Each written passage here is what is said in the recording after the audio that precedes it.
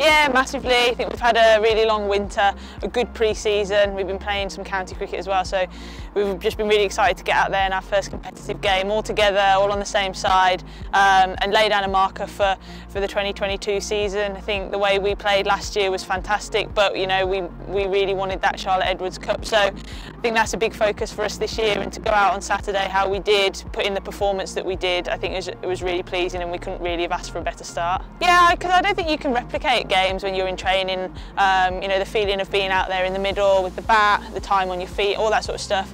Um, so to have played, you know, four weeks or so of of warm-up games of county cricket that's prepared us really nicely going into um, into Saturday and, and this season and I think the girls looked like they'd been playing for a while it didn't look like the first game of the season um, people are you know going out there and expressing themselves from ball one so I think that's really pleasing it's something that we speak about a lot the Vipers being brave and and having that intent and going out there and, and playing the way that we play so to be able to do that in that first game and do it as well as we did was really pleasing.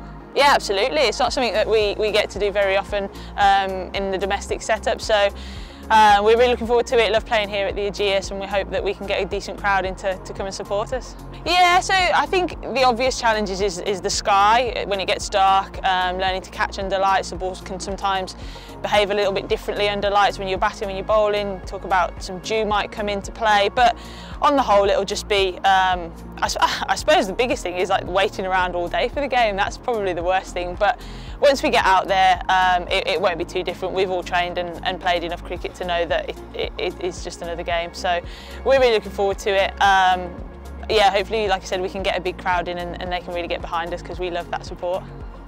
Yeah, they've, they've recruited well this winter. They've um, obviously having Tammy come back into the fold really strengthens their batting and Kirsty Gordon's been a great performer at domestic level for, for a number of years. So we're aware of their threats. Um, I think that we're very confident that if we bring our best cricket um, will be too strong for them. But like you said, in T20 cricket, anyone can, can take the game away from you and, and we've got to be really, really on it. We can't be complacent. We've had a really good start to our season and it's about now maintaining those standards and lifting them and being better every game. Yeah, it will be the first time this year and we love playing here. We've got good memories of playing here.